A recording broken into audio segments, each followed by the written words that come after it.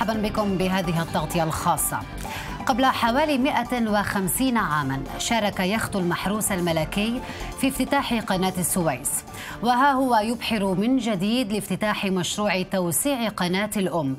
حيث دشن الرئيس المصري عبد الفتاح السيسي اليوم قناة السويس الجديدة والتي تعقد عليها الأمال لإنعاش الاقتصاد المصري المتدهور بعرض جوي وبحري. فيما تتجه أنظار العالم صوب مدينة الإسماعيلية شرق العاصمة المصرية حيث جرى افتتاح القناة الجديدة بمشاركة وفود رسمية من تسعين دولة.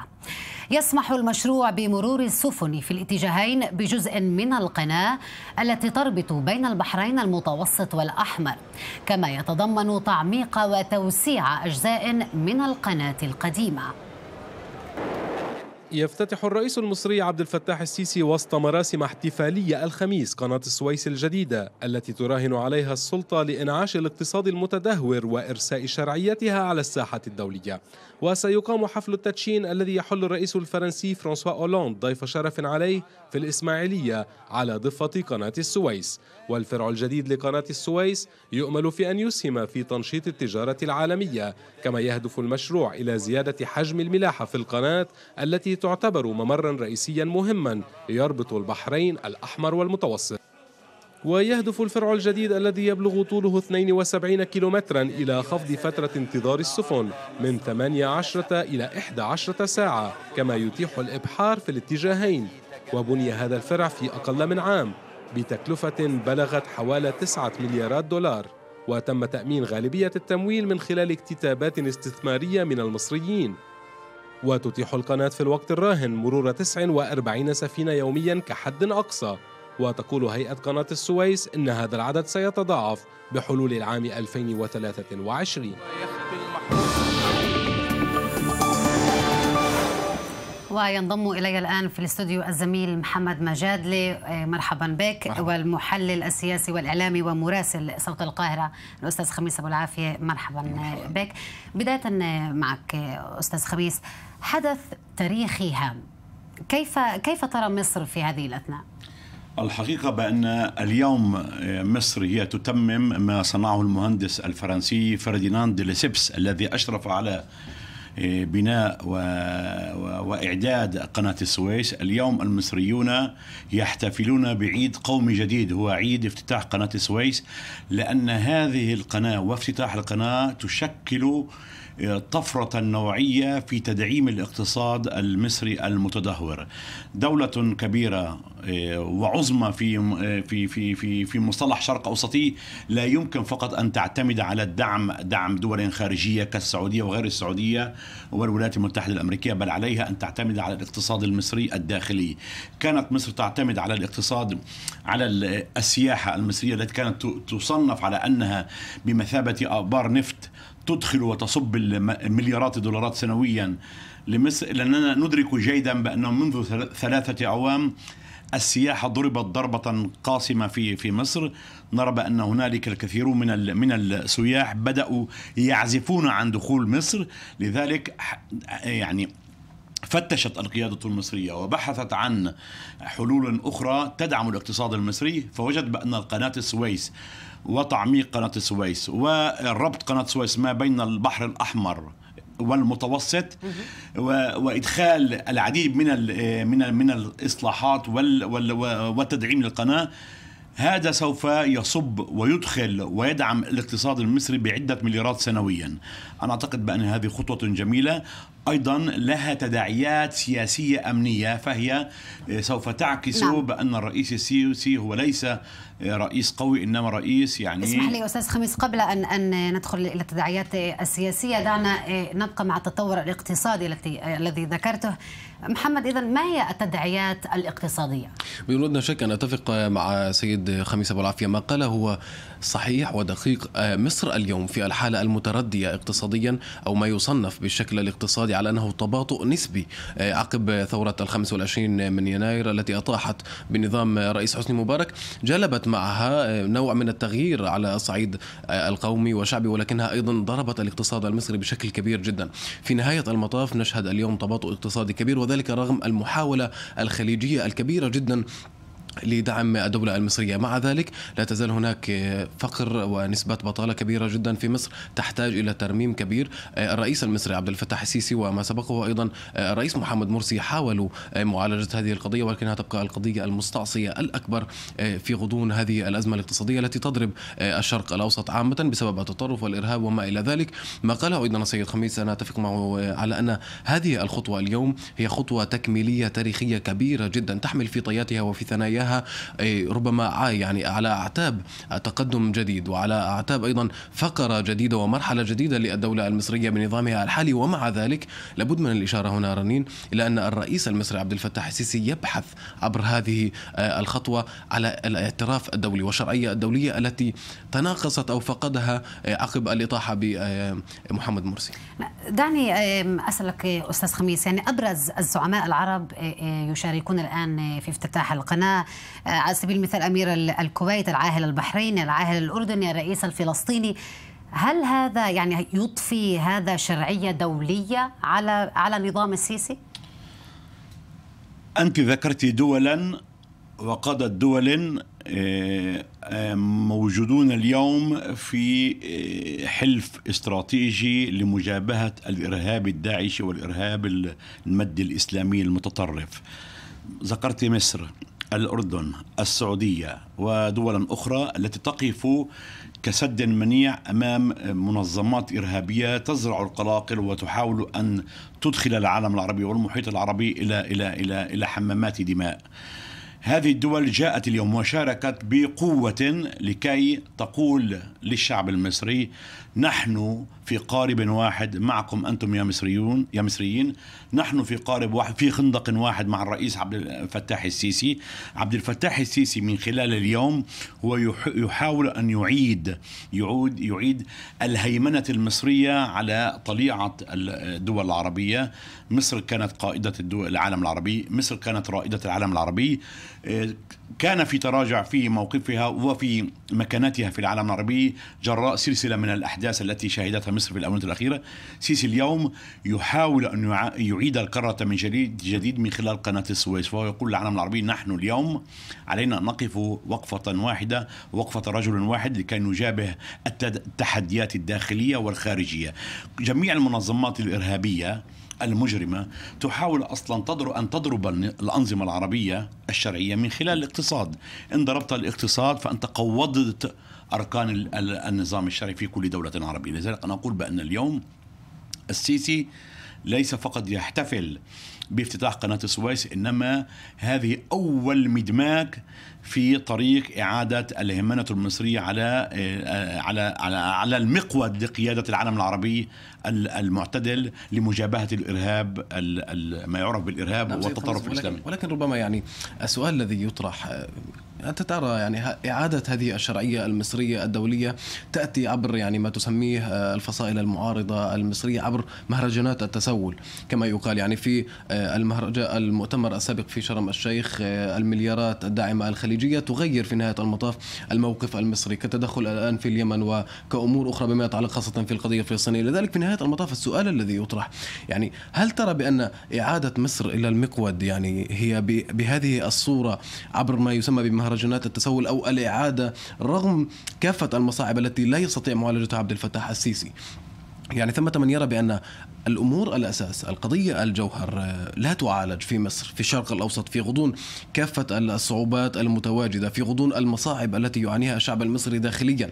يعني هذا الهرب إلى هذه المشاريع ربما قد يفضي في نهاية المطاف فقط إلى مفاقمة الأزمة الداخلية المصرية وعدم معالجتها بطريقة صحيحة. في نهاية المطاف الاستثمارات التي تم عبرها بناء قناة السويس كانت لمدة خمس سنوات عبر مليارات الدولارات.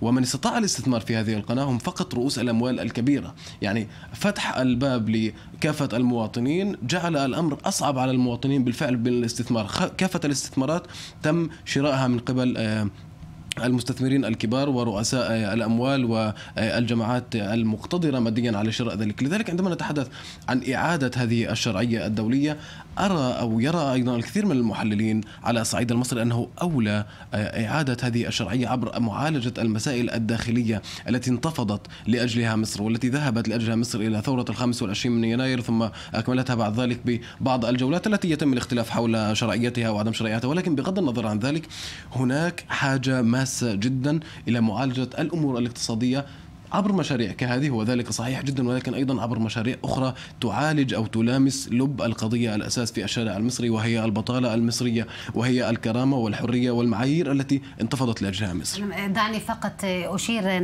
نحن نشاهد الآن الزعماء يتوجهون ويصلون إلى افتتاح قناة السويس نرى الرئيس المصري عبد الفتاح السيسي تفضل. وكذلك الأمر الرئيس الفرنسي فرانسوا اولاند يعني هو الذي يعتبر ضيف شرف في هذه في هذه الاحتفالية لسبب العلاقات المتواجدة. وأنت تعرف أيضا قضية سيد خميس قضية الطائرات والصفقات العسكرية المتواصلة بين مصر وفرنسا. مصر تعيش فترة يعني مفصلية ما بين نقاد ومنتقدين وما بين مؤيد وداعم لها. ما قاله الأستاذ هن محمد مجاده هو يعني اقتبس أقوال أناس ينتقدون مصر بعنفوانية. أنا أعتقد بأنه لو ذهب إلى آخرين ممن يؤيدون مصر اليوم لسمع هنالك سيناريو مخالف تماما. قناة السويس لن تحل كل مشاكل المصريين ولكن هي مكسب لأن قناة السويس مثل ما الأهرامات مثل ما النيل هي رمز من رموز الشموخ المصري. السؤال هنا الأولوية ما هي الأولوية للشعب المصري في الآن في هذه الفترة التي يعاني فيها الشعب المصري من أزمات كبيرة؟ دعنا نتكلم بالفعل عن الشارع المصري. كيف الشارع المصري يرى هذه الخطوة؟ تأييد عارم لمشروع قناة السويس لسبب واحد بسيط كما قال مراسلكم وهذا ما أعرفه أنا جيدا بأن هنالك قصصا مصرية سمعناها عن أناس باعوا الذهب والحلي صحيح. لكي يدعمون قناة السويس رأوا بأن هذا نحن في طريق إلى إعادة رمز من رموز الشموخ المصري. هذه نقطة. النقطة الثانية ما أود أن أقول هنا بأن هنالك قاسم مشترك ما بين إسرائيل ومصر. عندما جميع الاستطلاعات الرأي العام الإسرائيلية تنبأت هزيمة بنيامين نتنياهو جاءت النتائج الانتخابات وأثبتت للعالم كله بأن الشعب في إسرائيل اختار الأمن على حساب أن يعيش حياة رغدة حياة كريمة اقتصادية لأنه فضلوا الأمن على الاقتصاد الاقتصاد قبل الاقتصاد. المصريون المصريون اليوم باتوا يدركون بأن مصر تمر في مرحلة خطيرة جدا أن هنالك إيه، هنالك منظمات إرهابية إجرامية مدعومة من قبل جهات غربية إيه، إيه، غريبة تريد أن تقوض مصر تريد أن تدمر مصر تريد أن تحول مصر إلى سوريا لأن لذلك نرى بأن هنالك تأييد عارم لشخص الرئيس السيسي حتى أناس ينتقدون على سياسة السياسة القبضة الحديدية تجاه المعارضين إلا أنهم في نهاية المطاف يدركون بأن هو يمثل بص يمثل بصيص أمل لإمكانية إدخال مصر إلى حالة من الاستقرار الأمني، الاستقرار الأمني ثم يأتي بعد الاستقرار. إمتى تستطيع أن تتحدث عن جلب مستثمرين للاستثمار في مصر، إعادة السياح إلى مصر وهلم جرا. محمد هل توافق؟ نعم؟ أنا أوافق بشكل جزئي. يعني قضية الاستقرار الأمني هي قضية راسخة فعلا ولابد من معالجتها. والأمر هذا يعني يعيه الرئيس المصري عبد الفتاح السيسي المشير سابقا في الجيش المصري هو يعرف تماما كيف يدير الأمور العسكرية. ولكن سيد خميس ربما قد تتفق معي أيضا أن قضية سيناء والمصاعب الأمنية هي ليست جديدة يعني على الشعب المصري كانت ولا زالت تشكل عائقا كبيرا أمام الأمن والاستقرار ولكن مع ذلك أبقى وأذكر بمعايير الثورة المصرية التي خرج لأجلها إلى الشارع. لم يخرج احدا منتفضا على القلاقل الأمنية لم يخرج احدا بسبب التخوفات الأمنية ولم يبرز الدور في سيناء كما نراه اليوم. في نهاية المطاف الشعب المصري خرج احتجاجا على السلطات المجحفة التي يعني افقرت وأطقعت بما يتعلق بهذه المعايير. لهذا السبب خرج الشعب المصري. اليوم أنا أتفق معك هناك اتفاق عارم كبير جدا يعني من آه، من أقصى إلى أقصى حول آه، هذا المشروع حول أن قناة السويس فعلا تعيد الأمجاد المصرية المندثرة إن صح التعبير خلال هذه الثلاث سنوات التي مرت. ولكن السؤال الذي يطرح أو تبقى القضية الأساس كيف يتعامل الرئيس المصري عبد الفتاح السيسي مع هذه المصاعب؟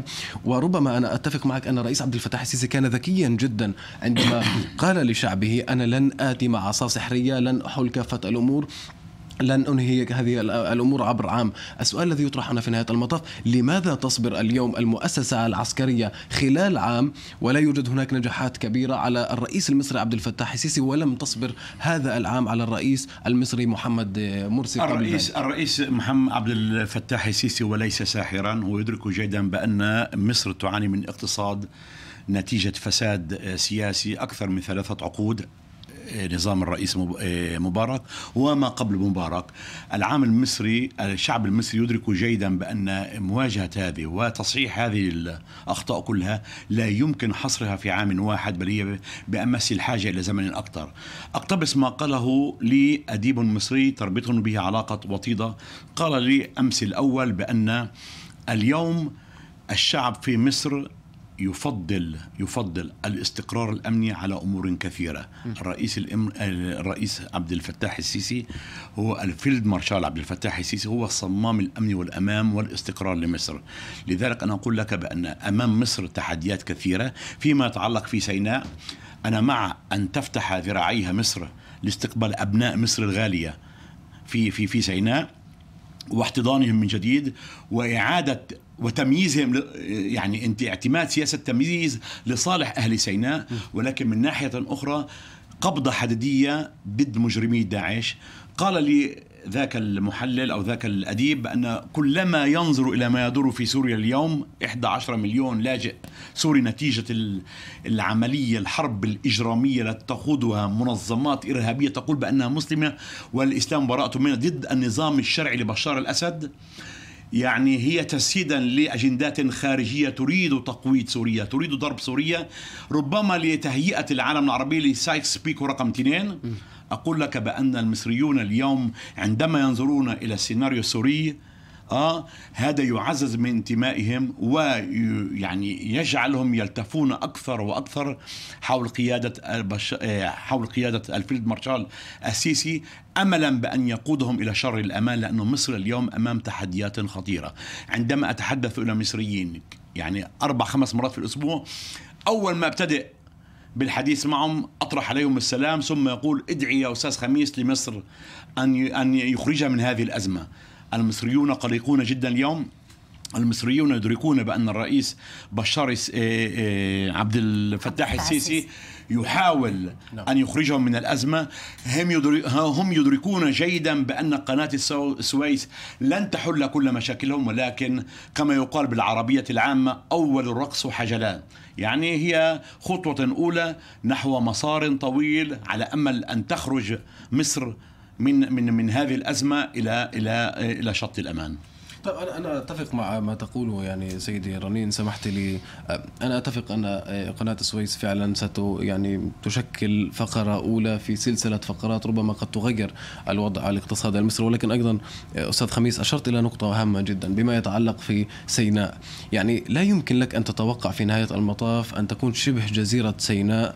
هي آه، جزء من النسيج المصري عندما أنت تمارس يعني سياسة الإقصاء والتهميش والظلم التاريخي تجاه سيناء. سيناء. يا سيدي هناك من لا يعرف القراءة والكتابة الغالبية العظمى في سيناء لا تعرف القراءة والكتابة. أستاذ محمد يعني في نهاية المطاف. 8 مليون مصري يعيشون اليوم يلتحفون السماء ويفترشون الأرض في المقابر المصرية. 8 مليون أكبر من عدد إسرائيل. هذه جريمة نقراء ارتكبها ارتكبتها أنظمة مصرية. أنظمة عفونة في السابق. نأمل ما نأمل اليوم بأن عبد الفتاح السيسي أن يقود يقوم بتصحيح هذه الأمور كلها. سيناء وغير سيناء في القاهرة وغير القاهرة فهنالك أيضا في دمياط ومناطق أسيوط ترى بأن هنالك أناس يعيشون وكأنهم يعني لم يلحقوا الركب صحيح. الركب العصري. ما زالوا يعيشون في القرون الوسطى من ناحية المستوى المعيشي، لذلك أنا أقول بأن التحديات هي تحديات كبيرة، هي تحديات جمة، تحديات اقتصادية، سياسية وأمنية. ولكن سؤال يعني سيدي تحديات كبيرة جدا وأنا أتفق مع ذلك. السؤال الذي يطرح هنا يعني ألا ترى اليوم أن النسيج المجتمعي في مصر مفكك جدا يعني آيل إلى السقوط في أي لحظة؟ عندما نتحدث عن إقصاء جماعة الإخوان المسلمين نتحدث عن قسم كبير من المعارضين خارج مصر نتحدث أيضا عن القضية التي الإرهابية التي تعصف بمصر وبمواطنيها. في نهاية المطاف إصلاح ذات البين أعتقد أنه هو الأمر الرئيس والأساسي الذي عليه الرئيس المصري عبد الفتاح السيسي أن يتوجه إليه. وأعتقد بأنك تقول قولا سديدا لسبب واحد بسيط إذا أراد هذه التحديات الجمة العملاقة التي تواجهها مصر الغالية على قلوبنا يعني تحتم التفاف جميع وكافة أبناء الشعب المصري. وإذا أردنا النجاح على الرئيس عبد الفتاح السيسي أن يفتح يداه ويمد يده لجماعات الإخوان ذلك حتى الآن؟ الإخوان المسلمين. أنا لا أعرف بصراحة أنا لست مستشارا له. يعني ولست من المقربين إليه ولكن كمحلل أقول كمن يتابع أحداث مصر لاعتباري انه أنا أحب مصر أقول بان بأنه ربما حسب وجهة نظري خطأ استراتيجي عندما أنت تصنف الإخوان ولهم تأييد أكثر من عشرة ملايين بانها بأنهم إرهابيين أو مجموعات إرهابية، أنت لا تستطيع أن تقول لجزء كبير من الشعب المصري بأنهم إرهابيين، أنت تستطيع أن تقول بأنهم هم مخطئون في طريقهم. أن تجلس إليهم وتحاول أن تخاطبهم وأن تجد حلا يرضي الأطراف جميعا لكي تقف مصر كتفا واحد يدا واحدة على أقدام واحدة لمواجهة هذه التحديات للخروج إلى والوصول إلى شاطئ الأمان بدون تكاتف وتضافر جميع الجهود المصريين. من أجل مواجهة هذه الأزمات أنا أخشى ما أخشاه أن من قاله الأستاذ محمد مجادلة أن يتم على أرض الواقع وهذا ما لا أتمناه ولا أي عربي يحب مصر ويعشق مصر يتمناها. أنا أتفق مع سيد خميس رنين. نعم. أه، بأن مصر لها الدور أو, أو الصعيد الأكبر في الشرق الأوسط. بداية يعني نحن نتحدث عن أقوى الجيوش العربية في منطقة الشرق الأوسط نتحدث عن المنظومة الاقتصادية الأكبر نتحدث أيضا عن أكبر دولة عربية في نهاية المطاف. إذا صلحت مصر وهكذا يعني يتفق معي السيد خميس دائما كان يقال عبر التاريخ إذا صلحت مصر صلح آه، سائر آه، دول منطقة الشرق الأوسط في نهاية المطاف. كافة التغييرات الإقليمية التاريخية وعلى صعيد الدولة أيضا أتت من مصر. يعني حتى من يتغنى بتحرير آه، وحل القضية الفلسطينية وتحرير الأقصى أيضا جاء من مصر ومن هذه المناطق. فعلا مصر لها دور كبير جدا. أعتقد أن هذا المشروع اليوم سيشكل حلقة تغييرية كبيرة جدا. في تاريخ الشعب المصري يعني ناهيك عن مستقبله وعن حاضره. لذلك ما ما أتوقع أن يجب أن يكون في هذه الفترة المقبلة على الرئيس عبد الفتاح السيسي أن يستثمر هذه الجهود.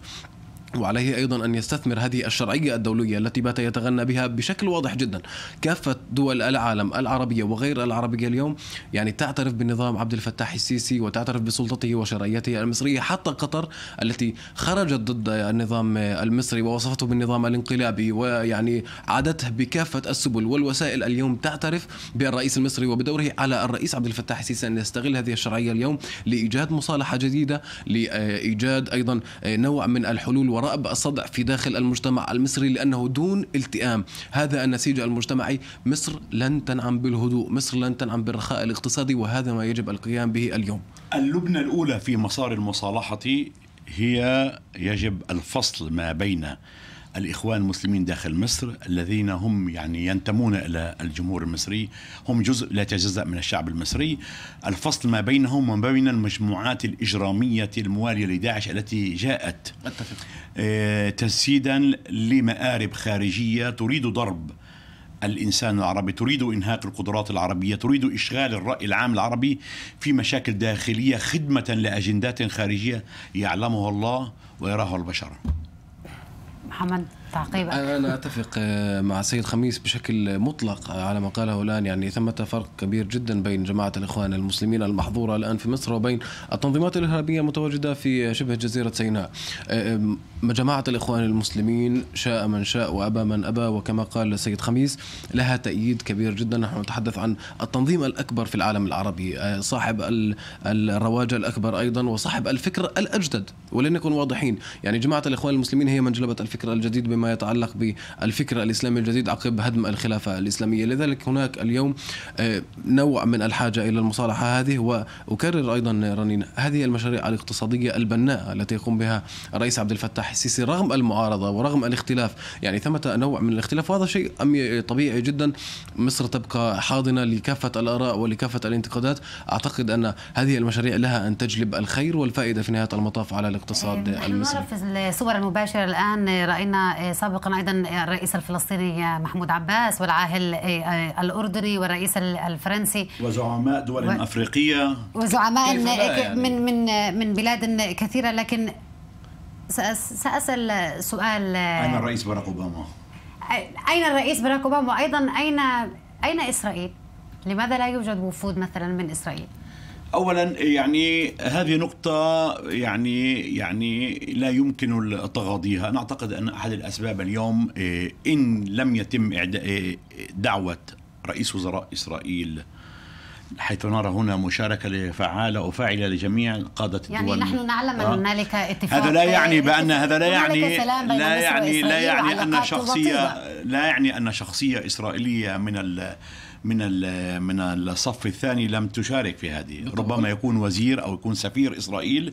أنا بالأكيد أقول لك بأن سفير إسرائيل موجود هناك. وكذلك أنا أستطيع أن أقول يعني سيد خميس إسرائيل تتفهم الموقف الحساس لعبد الفتاح السيسي خاصة في ظل تخشى أن يستهلك ذلك ضد يعني هي تعي جيدا يعني رئيس الوزراء الإسرائيلي بنيامين نتنياهو وكذلك الرئيس الإسرائيلي ريوفين ريفلين أيضا على علاقة وطيدة جدا بالرئيس عبد الفتاح السيسي وأنا أقولها بوضوح. ومصالح استراتيجية مشتركة اليوم ما بين البلدين ما بين البلدين يعني دعونا إيه، نعم. لو سمحتوا ننتقل لكلمة إيه، الأستاذ مهاب مميش رئيس قناة السويس.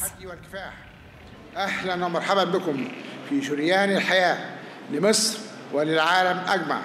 قد حفرها أجدادنا المصريون بسواعدهم وأظافرهم في القرن قبل الماضي.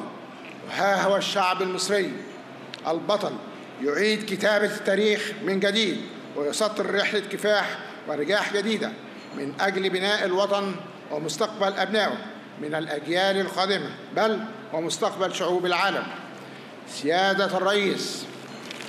إذا الشعب يوما أراد الحياة فلا بد أن يستجيب القدر ولا بد لليل أن ينجلي ولا بد للقيد أن كسر وأراد الشعب المصري الحياة في الخامس والعشرين من يناير والثلاثين من يونيو فاستجاب القدر.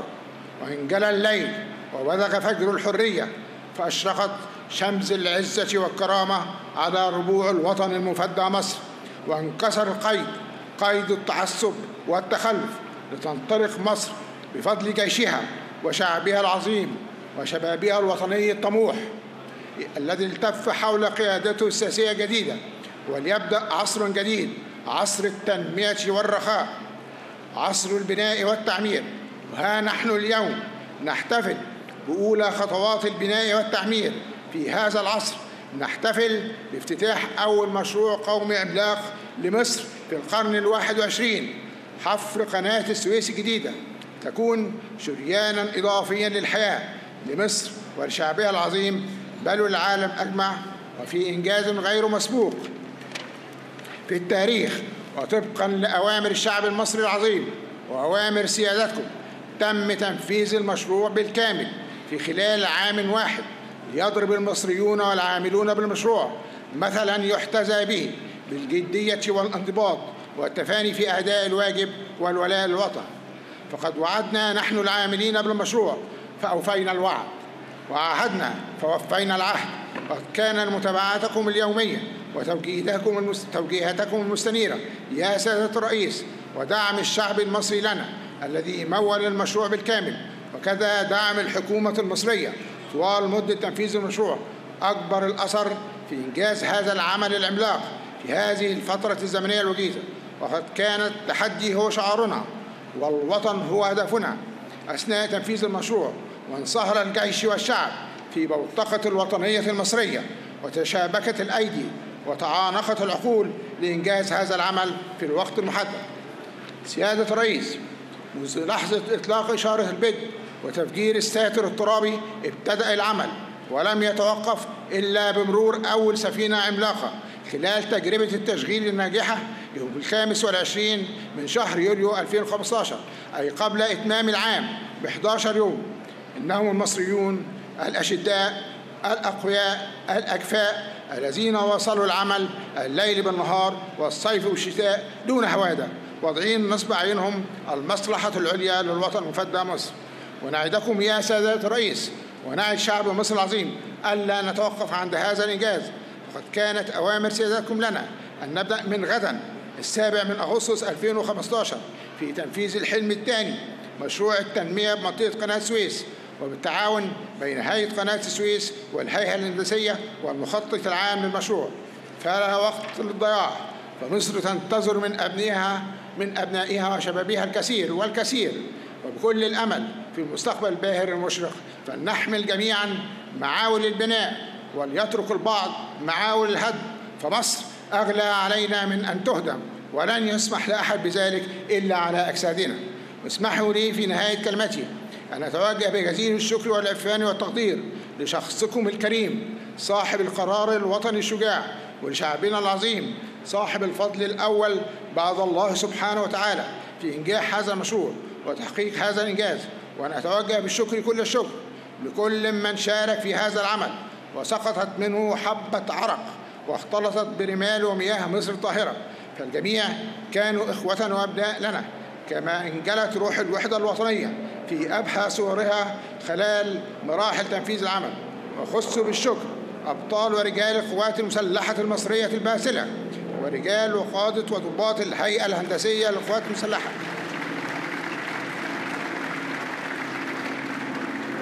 والعاملين الأبطال بهيئة قناة السويس ومقاولو التنفيذ المصريين وشركاء التكريك في, المشروع. سيادة الرئيس لقد كان حلما فخاطرا فاحتمالا ثم أضحى حقيقة لا خيالا حفظ الله مصر وحفظ الله شعب مصر ووفقكم الله لما فيه خير مصر والمصريين وسر على بركة الله وشعب مصر معك.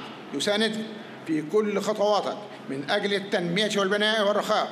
ومن نجاح إلى نجاح بإذن الله ولا أستطيع إلا أن أقول الحمد لله. وتنفذ يا فندم زي ما قلت لسيادتك في المرة الأخيرة. تنفذ.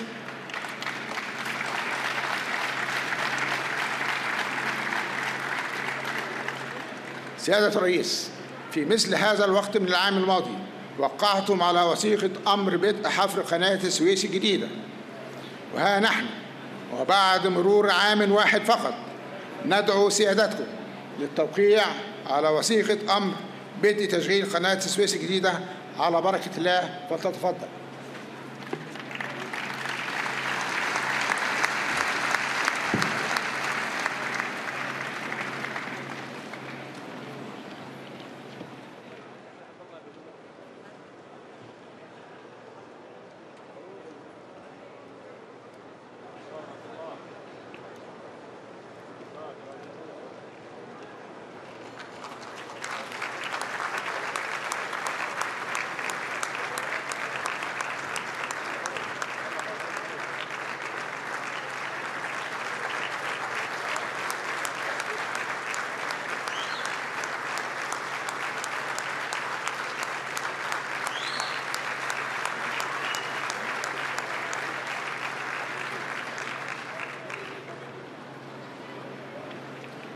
قناة السويس الجديدة.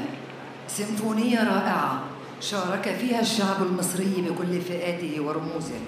تحت قيادة أن. استمعنا لكلمة رئيس قناة السويس مهاب مميش وشاهدنا أيضا الرئيس المصري عبد الفتاح السيسي يوقع على اتفاقية قناة السويس الجديدة. تعقيبك أستاذ خميس. ملاحظة واحدة أنت استمعتي لما قاله وقال بأن هذه أولا قبل شيء قبل كل شيء هي إرادة الله ولكن أثنى كثيرا على الشعب المصري الذي يعني يعني انخرط في هذا المشروع الجبار ل- لإنجاحه. أولا الشعب المصري ذكره قبل الرئيس. أنا أعتقد بأن هنالك مغزى مغزى سياسي واجتماعي إيه، بعيد الأمد. هو يقول بأن هذا مشروع الشعب أولا وقبل كل شيء. أستاذ خميس ننتقل الآن لكلمة رئيس المصري عبد الفتاح السيسي. أصحاب الجلالة والفخامة والسمو السيدات والسادة ضيوف مصر مصر الأعزاء. يسعدني أن أرحب بكم اليوم باسم شعب وحكومة جمهورية مصر العربية. أرحب بأشقاء مصر المخلصين وأصدقائها الأوفياء.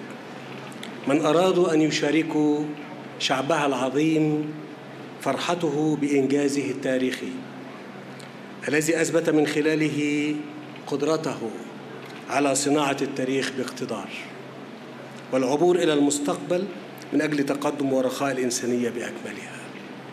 الحقيقة اسمحوا لي أن أنا أخرج على النص.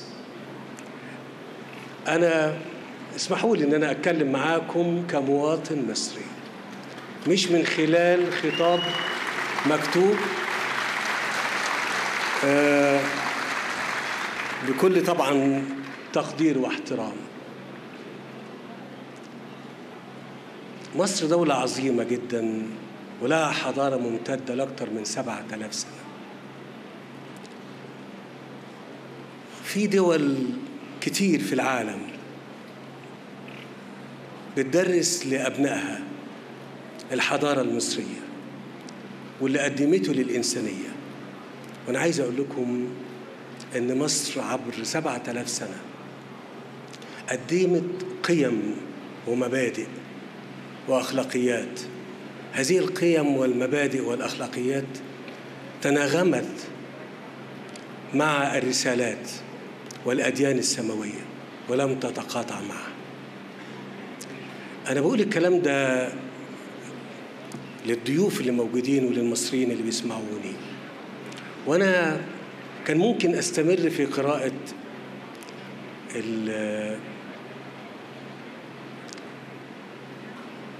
الخطاب الرسمي اللي هو بيسجل دلوقتي لهذه اللحظة. لكن أنا لما بتكلم وبخرج عن السياق أنا بكلم الشعب المصري كل المصريين مش مفكريه ومثقفيه وعلماء فقط. أنا بكلم غالبية غالبية مواطنين مصر. ويمكن يختلف معايا كثيرين انت بتوجه كلامك لهم هم هم عندي لهم الأولوية الكاملة المصريين.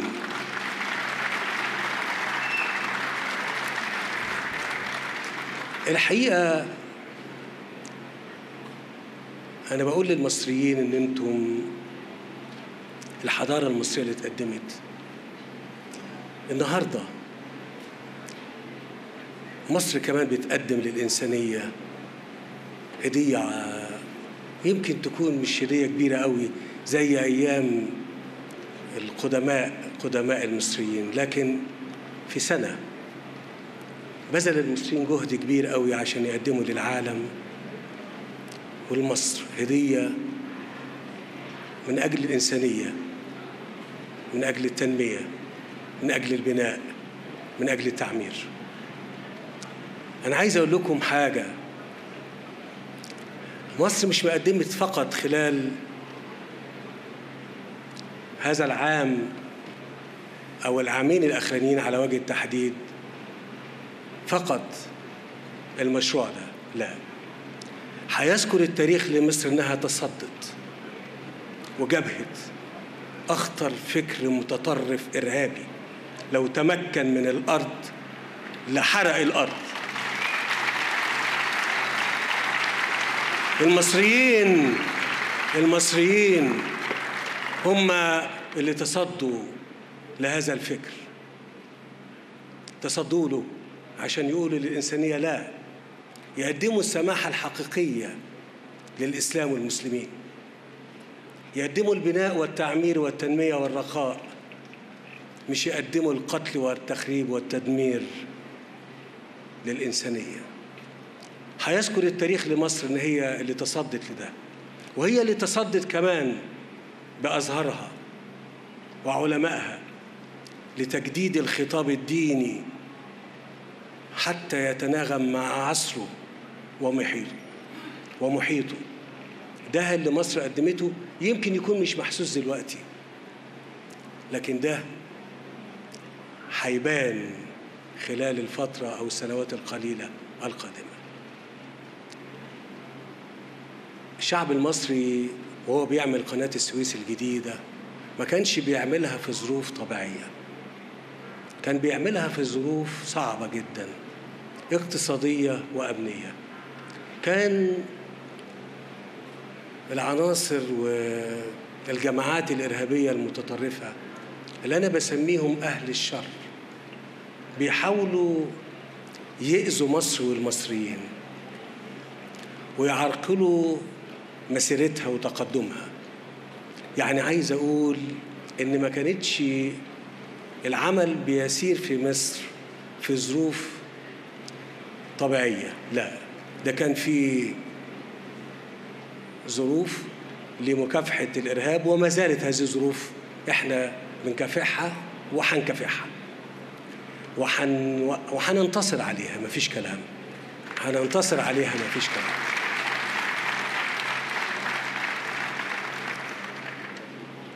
كان لازم نبقى متأكدين إن إحنا بفضل الله طبعا سبحانه وتعالى وبجهد كل المصريين نستطيع أن نقدم هذا الإنجاز في المدة المقررة والمحددة ليه قناة السويس الجديدة مش بس عمل هندسي لا ده في من في بعد جديد في بعد كبير قوي من فضلكم لازم تتوقفوا قدامه. كان لابد إن المصريين يشعروا في خلال سنة إن هم يبقوا عندهم مزيد من الثقة ومزيد من الاطمئنان وعدم التشكك وعدم الإحباط. وأنا أتصور إن اللي تم تنفيذه بهذا الشكل ورد فعل الناس رد فعل الناس في مصر على كده. فرحة المصريين بتؤكد المعنى ده إن هم كانوا محتاجين يأكدوا لنفسهم وللعالم إن هم ما زالوا قادرين. وأنا أتصور إن هم دي أول أول خطوة القناة الجديدة أول خطوة من ألف خطوة. القناة الجديدة خطوة واحدة. من ألف خطوة. إحنا مطالبين يا مصريين إن إحنا نمشيها. صحيح. خطوة من ألف خطوة. بس أنا عايز أقول لكم حاجة قبل ما أكمل خطابي ده. لا يمكن أبدا أبدا هيستطيع أحد أن ينال من مصر. أبدا. طول ما الشعب المصري كتلة واحدة وإيد واحدة هأكدها مرة واثنين وثلاثة. ولو أنتوا بصيتوا هتلاقوا شيخ الأزهر وقداسة البابا موجودين جنب بعض. لازم دايما نبقى إحنا كتلة واحدة. كتلة واحدة عشان نقدر نعبر التحدي اللي إحنا بنجابه وهننتصر فيه.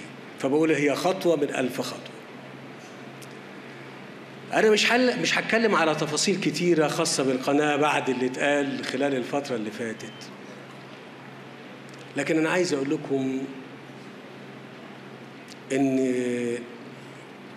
كل مصري كان مشارك في المشروع. وحتى غير المصريين. من كل دول العالم كانوا حريصين جدا جدا على إنجاز المهمة في التوقيت المحدد. في التوقيت المحدد. ليل ونهار. ما دام اتكلمنا على إن الظروف كانت صعبة يبقى لابد إن إحنا نقدم كل الشكر لأرواح الشهداء. الذين ضحوا ضحوا بدمائهم وأرواحهم من أجل مصر واستقرار مصر. من الجيش من الشرطة من المواطنين الأبرياء. ده تمن دفعناه وبندفعه مش عشان خاطر مصر بس زي ما قلت ده عشان خاطر الإنسانية كلها. فاسمحوا لي إن أنا أوجه الشكر والتقدير والاحترام لكل من شارك في هذا المشروع. الهيئة الهندسية للقوات المسلحة والقوات المسلحة. بالتنسيق مع هيئة قناة السويس والعاملين بقناة السويس. ثم جميع شركات المقاولات اللي اشتغلت خلال هذا العام بالإضافة طبعا للتحالف الكراكات اللي اشتغل وأنجز المهمة بمنتهى الكمال. شكرا جزيلا لكم جميعا.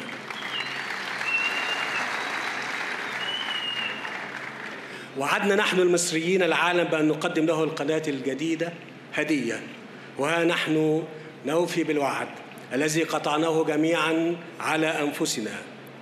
وفي زمن قياسي نهدي للعالم شريانا إضافيا للرخاء وقناة تواصل حضاري بين الشعوب لتساهم في تيسير وتنمية حركة الملاحة الدولية. وتفتح آفاقا جديدة للتنمية وتشارك في تحقيق آمال وطموحات شعب مصر العظيم الذي أنجز هذا المشروع بعقول أبنائه وقوة سواعدهم ومدخرات أموالهم. من سيناء الغالية ملتقى الشرق والغرب من أرض مصر الطيبة كأخلاق أهلها. العظيمة في شموخها كالأهرامات العبقرية في موقعها على مر الزمان. الباقية أبدا كان لها الخالد. نستلهم من كتاب التاريخ الإنساني صفحات الفخر والمجد التي كتبها الأجداد. ونسطر في صفحات المستقبل نهجا فريدا لمصر. مصر الجديدة يلبي طموحات أبنائها ويتسع ويتسق مع كفاحهم ونضالهم الممتد بامتداد البشرية. لطالما كانت قناة السويس جزءا من نبض مصر فشغلت مفكريها وأدبائها فهو مفكر مصر الكبير الدكتور جمال حمدان يصفها قائلا لنا أن نطمئن.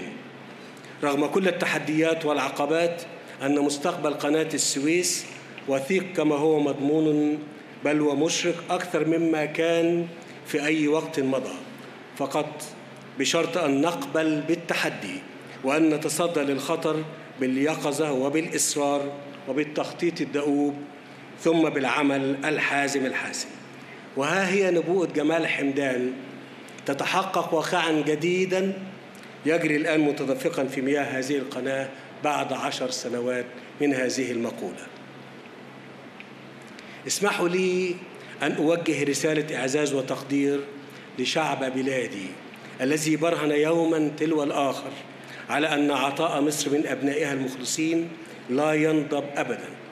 يا أبناء مصر إنني أحيي وطنيتكم فقد لبيتم نداء الوطن وتمكنتم من تمويل هذا الإنجاز الهائل خلال أيام معدودات. ودعونا جميعا نهدي إنجازنا العظيم لأرواح شهداء مصر الأبرار. نقول لهم إن أرواحكم لم تذهب هباء. ودفاعكم ودفاعكم عن وطنكم وشعبكم لم يكن فقط من أجل الدفاع عن أرض الوطن ولكن أيضا لمنح الأمل لأجيال قادمة. ستعي وتتعلم من تجاربكم وتاريخكم. معاني الفداء والتضحية والإيثار فلتنعموا جميعا في سلام الجنة.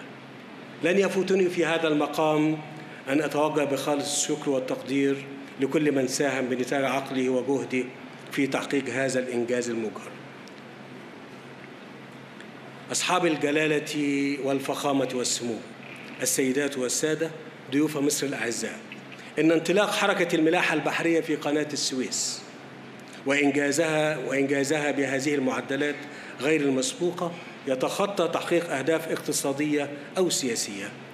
ليبرز لنا هدفا إنسانيا تنشده مصر المستقبل يحقق لشعبها الكرامة والعدالة والاستقرار.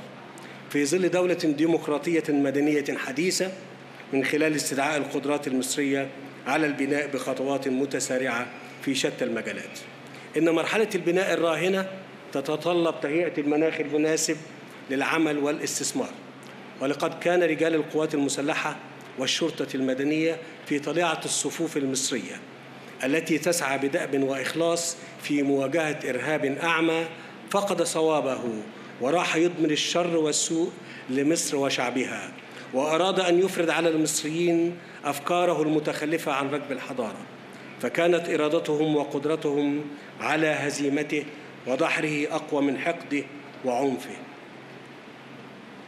إن التاريخ يروي للإنسانية بأسرها كيف كانت قناة السويس محورا لانطلاق إشعاع مثل الثقافي والحضاري للمنطقة والعالم بأسره. وهمزة الوصل بين مختلف أرجائه بدءا من العصر الفرعوني ومرورا بالحكم الإغريقي والحقبة والحقبة الإسلامية ثم التاريخ الحديث. ووصولا إلى قناتنا الجديدة إن مصر. ستظل الملتقى الجامع للشرق والغرب مثلما كانت على مدار التاريخ. أصحاب الجلالة والفخامة والسمو السيدات والسادة ضيوفنا الأعزاء إن الشعب المصري العظيم يعلن للعالم اليوم رسالة قناة السويس الجديدة إننا ننتصر على الإرهاب بالحياة وعلى الكراهية بالحب لتكن القناة منطقة رخاء للإنسانية ليس فقط فوق مياهها بل وعلى ضفتيها بما يرتفع إلى مقام تاريخ هذه القناة التي وضعت بصماتها على جغرافيا الوجود وخريطة البشرية. وأكد لكم أن مصر ليست بلد المشروع الواحد ولا يصح أن تكون كذلك. فشعبها الشاب كما هو في حاجة إلى العمل فإنه أيضا قادر على الإبداع والإنجاز. وما افتتاح قناتنا الجديدة اليوم إلا انطلاقا لمشروعات وطنية عديدة ولعلها ولعل أكثرها اتصالا بإنجاز اليوم هو مشروع التنمية بمنطقة قناة السويس حيث تم اعتماد المخطط العام للمشروع وستشرع الحكومة على الفور في تنفيذه بتنمية وتطوير منطقة شرق بورسعيد والتي ستشهد توسعة ميناء شرق بورسعيد وتطويره والاهتمام بالظهير الصناعي للميناء. وكذا تطوير البنية الأساسية للمنطقة وربطها مع المشروعات الأخرى الجاري تنفيذها وسيلي ذلك البدء مباشرة في تنمية مناطق الإسماعيلية والقنطرة والعين السخنة. إن تنمية منطقة القناة تستهدف إنشاء منطقة اقتصادية عالمية. تشمل عدد من المواني والمدن الجديدة والمراكز اللوجستية والتجارية والتي تحقق زيادة لمعدلات التبادل التجاري بين مصر وجميع دول العالم. ونحن باستمرارنا في تحقيق هذا الهدف نطمح إلى مشاركة أصدقائنا في كافة ربوع العالم في حلمنا الطموح ببناء مصر المستقبل. حيث تنطلق في مصر حزمة من المشروعات تستهدف إنشاء شبكة قومية للطرق العملاقة. وتنمية زراعية تطمح لاستصلاح مليون فدان وإنشاء عدد من المدن الجديدة تستوعب الزيادة السكانية بالإضافة إلى البدء في تدشين عدد من الموانئ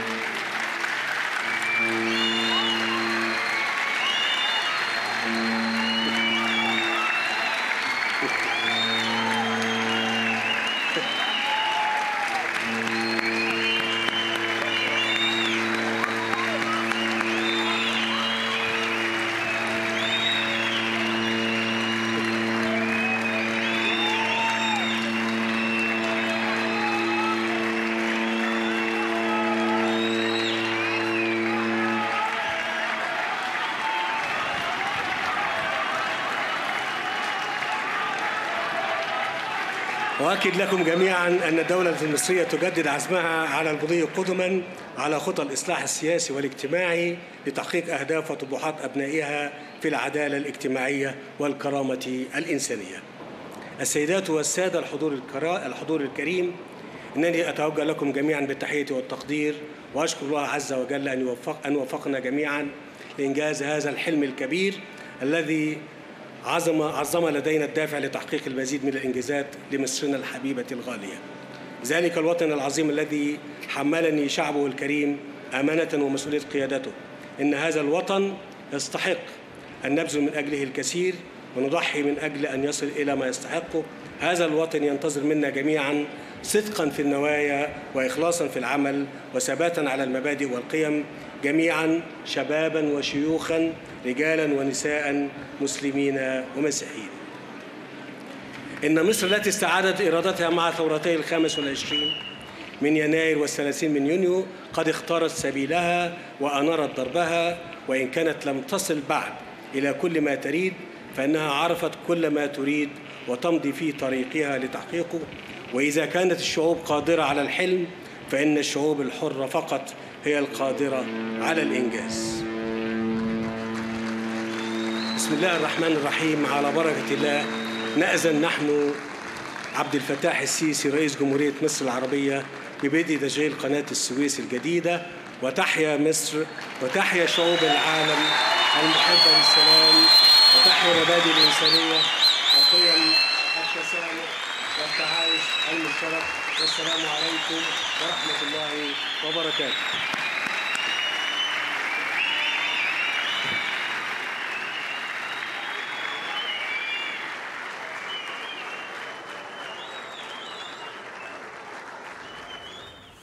إذا استمعنا لكلمة الرئيس المصري عبد الفتاح السيسي والأجواء فرحة وسعيدة جدا. كيف كيف تقرأ خطابه؟ يعني هذا يعني يعتبر يوم يوم عيد قومي للمصريين يعني هذه خطوة أولى نحو إعادة الأمجاد الأمجاد المصرية ويعني كل من يعني انتبه إلى خطاب الرئيس عبد الفتاح السيسي وانتبه ما بين السطور يجد بأن الثناء هو للشعب المصري البطل، الثناء هو للشعب المصري الجبار. بالفعل أنا اعتقد يعني يعني سمعت هنالك من قد تساءل لما هو تحدث بالعامية، أقول بأنه خاطب المصريين ولا يخاطب الضيوف، هو خاطب المصريين لأنه الديمين كورس كما يقال بالإنجليزية الهدف الأول هو الشعب المصري، الشعب المصري الذي من المفروض أن يساند مصر وقيادة مصر، الشعب المصري الذي من المفروض أن يدعم القيادة المصرية في هذه بالفعل كان التركيز في البداية على كلمته إلى شعبه إلى الشعب المصري. ولكن نحن نحن نعلم أيضا ورأينا أيضا في الشبكات الاجتماعية محمد سوجه سؤالي لك. هناك انتقادات كبيرة أيضا وتأهب من الشعب المصري حول هذا المشروع وافتتاحه في الأخص أيضا في التوقيت بدايه كما ذكرت رنين حفل مهيب جدا يعني وإذا كان قال سيد خميس أن هذا الحفل موجه للشعب المصري أنا أوافق ولكن له الأهمية بما فيه أيضا ليوجه أيضا للرئيس المصري عبد الفتاح السيسي هو النجم الرئيس يعني في هذا الاحتفال خطابه وكل ما تم القاه أيضا يشير في نهاية المطاف إلى أن هذا الإنجاز يعني ينسب إلى الرئيس المصري عبد الفتاح السيسي رغم أنه إنجاز يعني سبق عشرات السنوات من التخطيط والتنفيذ حتى وصلنا إلى هذه اللحظة التاريخية بما يتعلق أيضا في قضية التوقيت. يمكن القول أن هذا هو التوقيت الأنسب الذي رأى به عبد الفتاح السيسي وكذلك أيضا هو الوقت المناسب لافتتاح هذا المشروع لأنه تم الانتهاء بالعمل بهذا المشروع. الامنيه في الشرق الأوسط متاججه وتتصاعد يعني بدون شك رنين هذا جواب واضح أيضا لكافة دول المنطقة أن في حين تعصي أو يعصف الإرهاب في دول المنطقة في الشرق الأوسط ان النظام المصري والدولة المصرية تتمتع بالأمن والرخاء والنمو الاقتصادي وهذا أيضا جواب واضح. كما ذكرت أيضا بما يتعلق بقضية الوسائل الاجتماعية وقضية شبكات التواصل الاجتماعي هناك آه، فرح كبير جدا في الشارع المصري ولكن أيضا المعارضة التي تقف بالمرصاد لعبد الفتاح السيسي لم تنسى آه، الرئيس المصري في هذا المشروع. يعني هناك آه، مشروع تم إطلاقه تحت تسمية مصر بتفرح. يقال في هذا المشروع وهو يعبر فعليا عن نسب معينة نسب سيئة في الشارع المصري. مصر بتفرح في 2 مليون طفل مشردين في الشوارع. مصر تفرح أيضا ب 25% من نسبة الفقر. مصر تفرح ب 64% من نسبة التحرش. مصر تفرح أيضا ب 13% في وسط الشباب في من البطالة مصر تفرح ب 26% نسبة الأمية مصر تفرح كذلك الأمر ب 6 تريليون جنيه نسبة الدين الداخلي والخارجي و 41 ألف معتقل سياسي وأكثر من 7000 هذه المعطيات وهي معطيات يعني يعني تؤكد واقعا اليما في مصر لا يمكن أن تحمل عبد الفتاح المس السيسي المسؤولية لكل هذه المعطيات المخيفة. عبد الفتاح السيسي استلم سدة الحكم قبل عام ونيف. عبد الفتاح السيسي يدرك جيدا بأن المشوار المشوار نحو الأمن والأمان والحياة الكريمة للمصريين هو مشوار طويل. هو بدأ بالخطوات الأولى. قناة, قناة السويس اليوم هي لبنة أولى في المسار نحو الإصلاح والتصحيح. لا يمكن. صحيح أن الوضع في مصر هو أليم جدا. 64% من التحرش الجنسي هذه هذه آفة اجتماعية أفرزها مجتمع يعاني المشاكل الداخلية. لا يمكن تحميل السيسي ولا غير السيسي المسؤولية لكل هذه الآفات. ولكن ولكن نحمله مسؤولية مجابهة هذه المعطيات معطيات لكي تصحيح. سيد العزيز 7000 قتيل في العام في العام والنصف المنصرم 41 ألف معتقل سياسي في هذا العام ونصف المنصرم بالطبع يمكن تحملها للرئيس عبد الفتاح أنا أقول 7000 شهيد هذه دماء زكية للأسف الشديد أنا لا أؤيد القتل ولكن إذا ما قوس تم قياس الأمر بما يدور في سوريا فهناك ترتكب أكبر الجزائر أكبر أكبر المجازر بحق بحق شعب أعزل من قبل مجموعات إرهابية إجرامية كداعش وغير داعش هناك كما يقال بالإنجليزية جينوسايد إبادة لا الشعب لا أحد ينكر ذلك لكن لماذا المقارنه؟ لماذا هذا الاحتمالين الوحيدين الموجودين على الطاوله؟ مع المقارنة المقارنة في كل شيء اليوم إذا أردت أن تدرك أين أنت تقف اليوم أمام خارطة خارطة لتخطيط موقعك عليك أن تقارن بالآخرين. أن مصر هو يعني المقارنة أيضا تقول للمصريين إن لم تساندوا النظام في في مساره نحو التصحيح وإيصال مصر نحو شاطئ الأمان فالمصير للأسف الشديد سوف يكون كما سوريا. لذلك أنا أقول بأن لا أؤيد قتل الأبرياء من المصريين لا أؤيد قتل الإخوانيين لا سمح الله ولا أؤيد العمليات التفجيرية كلهم شعب واحد. وأنا أعود إلى ما قاله الأستاذ هنا في بداية الحديث أن لا مناص من سلوك مسلك الإصلاح إصلاح ذات البين ما بين أطياف الشعب المصري على أن يجدوا الحل أو المخرج من هذه الأزمة. إن, إن, إن, إن, إن تم الوفاق ما بين أبناء الشعب المصري أنا أعتقد بأن يتم تقزيم جميع وإذلال جميع العقبات أمام المضي قدما نحو شط الأمان بر الأمان للمصريين. بداية سيد خميس أنا فعلا لا أرى وجه مقارنة بين الأزمة السورية والمصرية، معايير الثورة اختلفت حتى في ثورة ال 25 من يناير وما بين ما يسمى بالثورة السورية، يعني هناك معايير مختلفة جدا في هذه القضية. ولكن مع ذلك أرى ولا زلت أرى أن القضية المصرية هي قضية مجتمعية بحت لابد من تصليح والذهاب إلى إصلاح ذات البين في الداخل المصري في الشعب المصري بين نسيج المجتمع كافة ليتم النمو الاقتصادي وليتم أيضا الرخاء من ناحية الأمن. هذه المشاكل التي تشهدها مصر اليوم هذه المشاريع الجبارة العملاقة بدون أدنى شك ستؤدي في نهاية المطاف إلى تقدم وإلى رخاء وإلى نمو اقتصادي. ولكن مع ذلك في حال بقي الشعب المصري وفي حال بقي الشارع المصري يعني مقتتل محتدم منكوي على نفسه ومنطوي كذلك الأمر. في هذا الوضع وفي هذا الحال لن تنعم مصر بالرخاء ولن تنعم بالسخاء ولن تنعم بالاستقرار ابدا. لذلك المهمة التي يجب أن يقوم بها الرئيس المصري عبد الفتاح السيسي اليوم وأنا أكرر مرة أخرى الرئيس المصري اليوم يحظى بشرعية دولية كبيرة جدا. كذلك الأمر يحظى بمحبة من قبل الشارع المصري هناك نوع من الالتفاف الشعبي والجماهيري آه، حول الرئيس المصري عبد الفتاح السيسي رغم أن ثمة معارضين كثيرين جدا وثمة آه، يعني مؤسسات حقوقية وغير حقوقية تتهم الرئيس عبد الفتاح السيسي بأنه آه، ينتهك الكثير من الحقوق وما إلى ذلك. ولكن أعتقد أن الرئيس المصري اليوم في مكان وفي موقع قوة كبير جدا يمكن له أن يجعل هذا الوضع اليوم في مصر بشكل أفضل يجعل النسيج المجتمعي مترابط ومترابط. راس الأمر الذي سيفضي في نهاية المطاف إلى التقدم الاقتصادي، في حال لم يتم ذلك أنا أؤكد لك سيد خميس أن هذه النعمة التي ينعم بها الرئيس المصري عبد الفتاح السيسي ستتحول إلى نقمة في نهاية المطاف، دعني أذكرك أيضا بالرئيس محمد مرسي، في بداية عهده كان هناك التفاف جماهيري كبير، كان هناك أيضا ترويج إعلامي كبير وكان هناك الكثير من التوافق والكثير من الموافقة حوله ولكن في اللحظة التي آه، تم آه، دعنا نقول تم الانقلاب على هذه المصالح وتم آه، من سماها أخوانة الدولة ومن سماها الفشل السياسي ومن سماها عدم النجاح في التخطيط والتفكير والاستراتيجية. الشارع المصري برمته وهو شارع واعي جدا ويعي تماما أن أين تقع مصلحته تم إقصاء وإجلاء الرئيس المعزول محمد مرسي. لذلك ينبغي على عبد الفتاح السيسي اليوم في ظل هذه المعايير المتواجدة وهي التقدم الذي تشهده اليوم الدولة المصرية والالتفاف الجماهيري الكبير والشرعية الدولية أن يسعى ويذهب إلى إصلاح ذات البين في الشارع المصري الأمر الذي سيفضي في نهاية المطاف إلى حبا حبا بمصر وحبا لمصر وشعب مصر. نحن نحب مصر لذلك نتمنى أن تجتاز هذه الأزمة. ونتمنى أن تتم المصالحة ما بين الأشقاء داخل مصر لأنهم شعب واحد وطن واحد.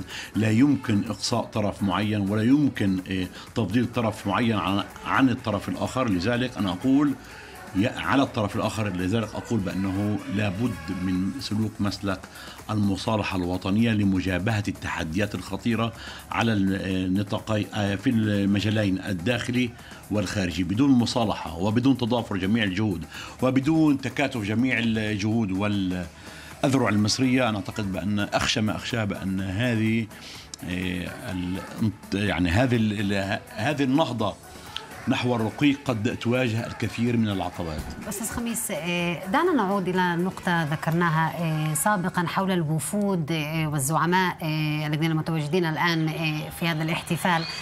ماذا عن الوفود التي لا نراها غير متواجدة مثل ذكرنا سابقا إسرائيل وأيضا أمريكا؟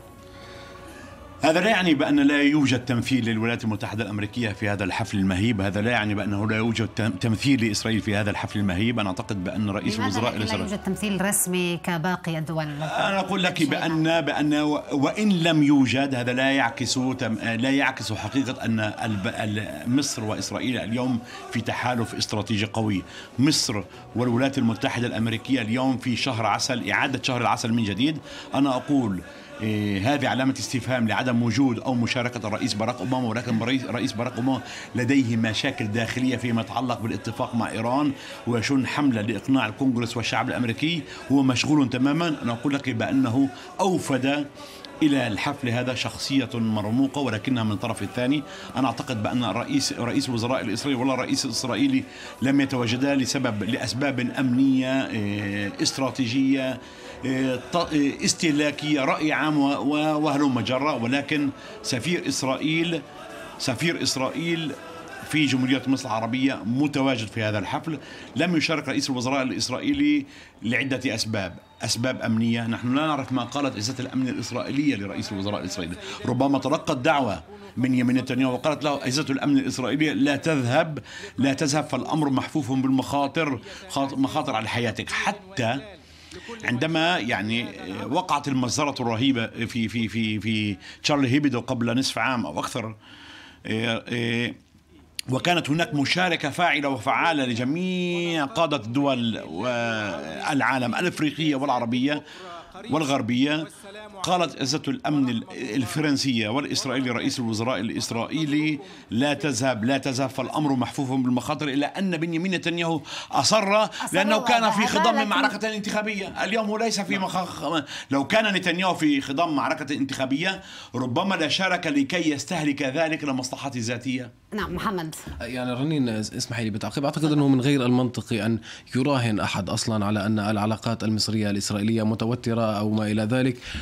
الرئيس المصري عبد الفتاح السيسي هو أفضل رئيس مصري كان لدولة إسرائيل. هذا ليس باعتراف محمد مجادلي أو خميس أبو العافية هذا باعتراف وزير الدفاع الإسرائيلي موشي يعلون. هذا باعتراف عاموس يادلين وباعتراف قيادات كبيرة جدا من الجانب الإسرائيلي.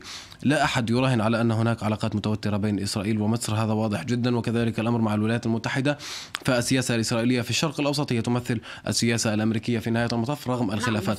بما يتعلق بما يتعلق ببقية الوفود. لا هذا أمر ليس غريب. مصر وإسرائيل هناك اتفاق تام. أيضا الرئيس الإسرائيلي ورئيس الوزراء الإسرائيلي يفهمان ويتفهمان. موقف الرئيس المصري عبد الفتاح السيسي لا أحد يريد منهم أن يتم استغلال الحضور الإسرائيلي على أنه تطبيع إسرائيلي أو ما إلى ذلك صح. هذا خيار صحيح هذا خيار ذكي جدا من قبل كافة الأطراف وأعتقد أن الطرف الإسرائيلي متفهم لذلك بما يتعلق في الأطراف الأخرى المتواجدة هناك مثلا الرأي الملك الأردني آه، هو متواجد هناك لأن هناك مصلحة استراتيجية كبيرة جدا للأردن مع مصر بما يتعلق بمحاربة الإرهاب خاصة في سيناء وغير سيناء واقتراب خطر داعش. بما يتعلق أيضا بوجود الرئيس الفرنسي هناك أيضا آه، علاقات اقتصادية استراتيجية مهمة جدا شراء طائرات رافال وما إلى ذلك. وهذا ما يتعلق أيضا بوجود رؤساء آخرين. الدول الإفريقية تطمع في المكاسب الاقتصادية المصرية هذا كذلك الأمر. لذلك هناك نوع من الاتفاق وهناك نوع من الشرعية المتواجدة. في نعم. هذا محمد الاحتفال. قبل أن نصل لنهاية التغطية كلمة تلخيص أستاذ خميس. هذا يوم عيد لمصر. هذا هذه لبنى آه، في في مشروع آه، ضخم لإنقاذ الاقتصاد المصري. قناة السويس هي يوم عيد للمصريين ولكنها هي هي مدماج في مواجهة المشاكل ولكنها لن تحل كل المشاكل. ربما هي يعني خطوة أولى نحو آه، عدة أو سلسلة خطوات من أجل إنقاذ الاقتصاد المصري. أشكرك محمد أنهي بما بدأت به رنين على الرئيس المصري عبد الفتاح السيسي أن يذهب إلى إصلاح ذات البين في الشارع المصري وأن لا يسارع بحظر وإقصاء أي نسيج مجتمعي في داخل مصر كافة الأنسجة وكافة التيارات والطوائف بحاجة كبيرة جدا لبناء مصر المستقبل اليوم. هذه المشاريع الاقتصادية مشاريع مباركة جدا ولها أن تجلب الفائدة في نهاية المطاف لشارع المصري نحن وصلنا لختام هذه التغطية الخاصة. أشكركم جزيل الشكر المحلل السياسي والإعلامي ومراسل صوت القاهرة خميس أبو العافية الزميل محمد مجادلي. شكرا جزيلا لكما. بهذا أعزائي المشاهدين وصلنا لنهاية هذه التغطية. إلى اللقاء.